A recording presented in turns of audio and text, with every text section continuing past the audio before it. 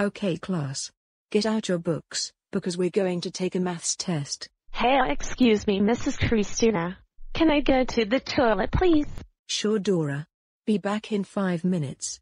You don't want to miss the test. Yes, Mrs. Christina. Thanks, Mrs. Christina.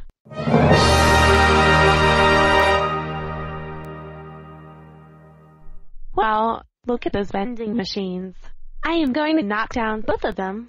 Ha ha ha ha ha ha ha ha ha ha ha ha ha ha.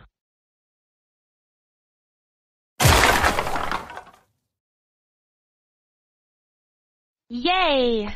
I finally knocked down the vending machines. They were so worthless as heck anyways. Oh no! What happened to the vending machines? They got knocked down.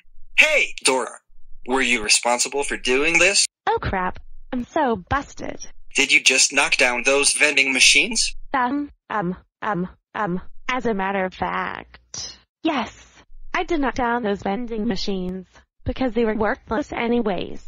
That's it. I am telling Principal Colin for what you just did. No, no, no, no, no, no, no, no, no, no, no, no, no, no, no, no. no, Look, Principal Colin. There's Dora. She was the one who knocked down those vending machines. Oh my god, Dora. I can't believe you knocked down the vending machines. You know those vending machines cost 600 pounds. And also, knocking them down can't cause damage. That's it. You are suspended for 20 weeks. Go home right now.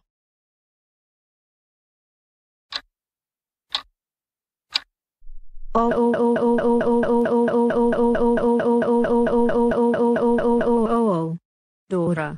How dare you not own the vending machines?